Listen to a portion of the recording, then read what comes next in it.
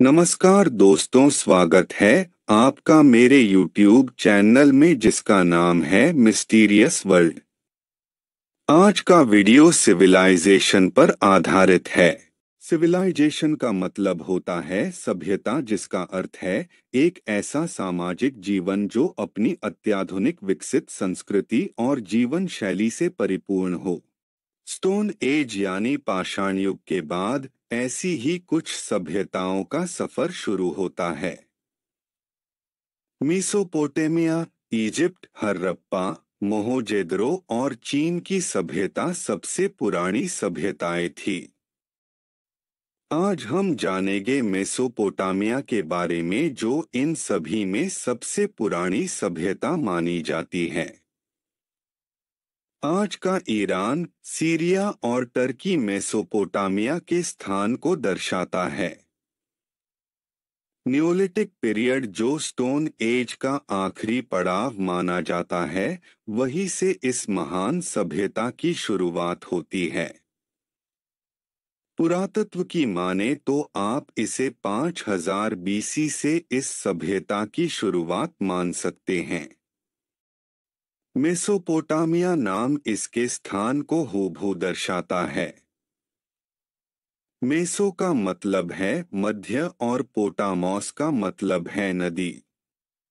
क्योंकि ये सभ्यता यूफ्रेट्स और टाइग्रिस ये दो नदियों के बीच पनपी थी, इसलिए इसका नामकरण कुछ इस प्रकार हुआ था।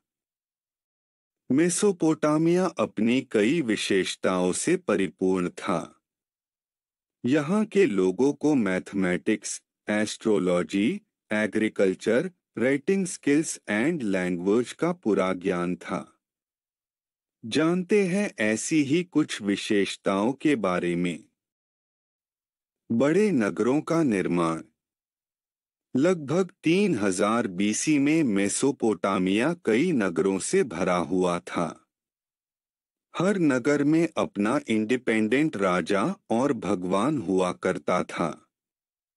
आए दिन इन नगरों में युद्ध हुआ करते थे, जिनके चलते सामाजिक स्थिरता ना के बराबर थी।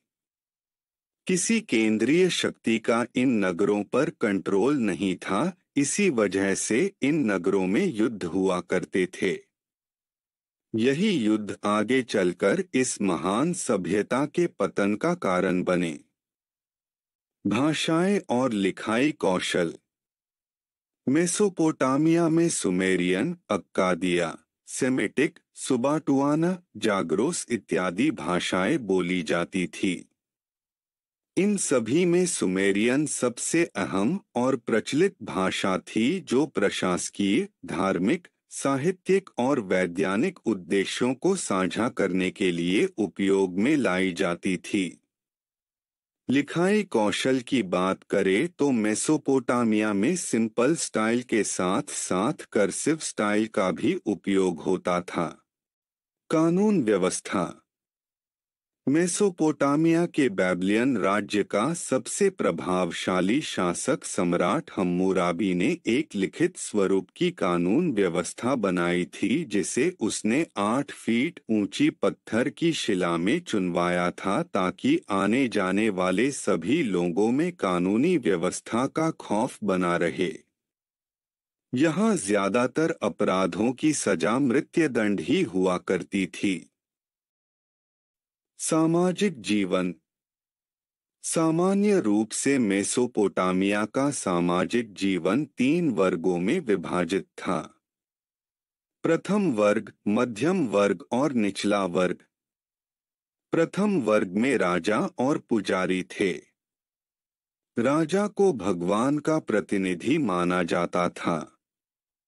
उसका आदेश यानी ईश्वरी आदेश यही सभी की धारणा हुआ करती थी। पुजारियों का काम अपने धर्म का प्रचार करना था। साथ साथ वे राजा के सलाहकार भी थे। मध्यम वर्ग में व्यापारी, जमींदार और दुकानदार आते थे। और सबसे आखिरी था निचला वर्ग जो दासों एवं गुलामों का था। युद्ध में पकड़े गए दुश्मनों के सिपाहियों को गुलाम बनाया जाता था। धार्मिक आस्था। मेसोपोटामिया के लोग एक ईश्वरवादी नहीं थे। वे कई देवी देवताओं में मानते थे। देवताओं के मंदिरों को जिगुरत कहा जाता था। जिगुरत का अर्थ होता है स्वर्ग की पहाड़ी। इसे बनाने के लिए एक कृत्रिम पहाड़ी का निर्माण किया जाता और उसके ऊपर ईंटों की मदद से तीन मंजिला विशाल भवन बनाया जाता जिसे जिगुरत कहते। जिगुरत की ऊंचाई 20 मीटर से अधिक हुआ करती थी।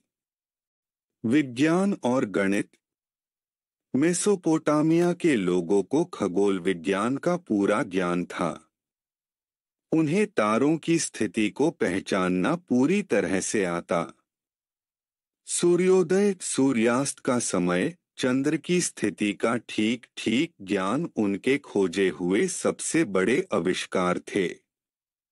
साठ सेकंड मतलब एक मिनट, साठ मिनट मतलब एक घंटा और चौबीस घंटों को मिलाकर एक दिन इन्हीं का हिसाब था। तो आज के लिए बस इतना ही। मिलते हैं अगले वीडियो में। आपके सुझाव का इंतज़ार रहेगा। धन्यवाद।